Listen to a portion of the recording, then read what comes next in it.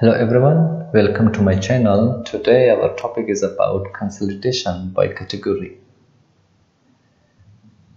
In consolidation by category, it doesn't matter, the structure should be the same, but we can use the columns and the rows to adjust itself. For example, so I want to apply here consolidation by the column. So up, up first of all I have to open my workbook. Workbooks and I come here and select my workbooks. Open. Now you can see I have my four workbooks and I come here I bring this in my screen and I choose the tiled one. Now you can see I have my workbooks and here I have for 15 people. But here I have 11 people. Here I have 12 so different people. In some we have some we don't have in in a year. Different years different people. The total is 15 so here always I have to select the first cell. I select this one. I come to data and here consolidate and this time I have this selected before I have worked this I want I can delete from here. Delete and delete from here. After that I select here I click here in references I come here. So in this time I choose also the employer I choose and add. The next one. And add the next one.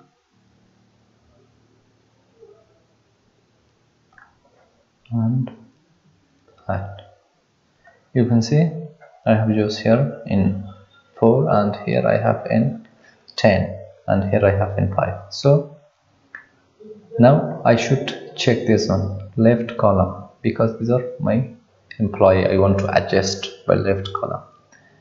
I check this one and okay. You can see it works properly. It arranged itself the name.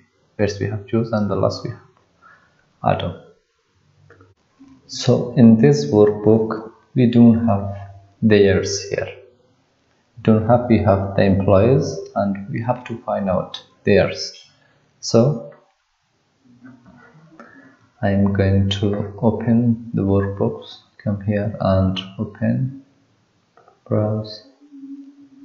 I select this open.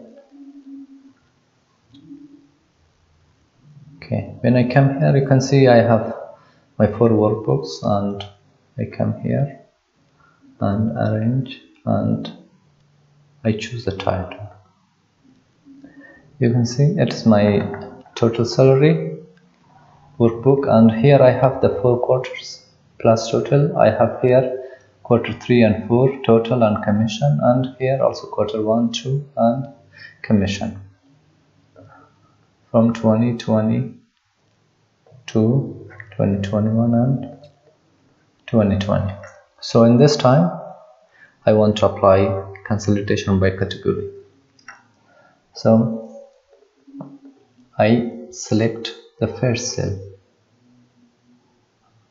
I select the header because we are going to apply by row. We are going to apply consolidation by row.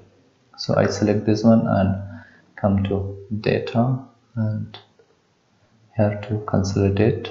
And here I have this and I want if I want to delete this one just select and delete. So after that come click on reference and I select I don't select the employee this time I just select the quarters and the headers and the values.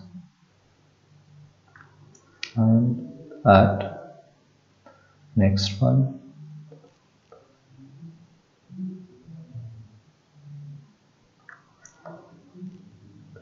Add last one. And add this time I should choose check the top row because we want to arrange our work by top row.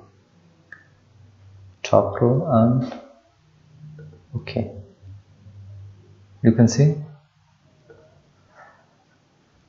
Now I have quarter one two three four total and commission. So that's it for today thank you for watching. If you're new here please subscribe to my channel and don't forget to hit the bell icon. Thank you so much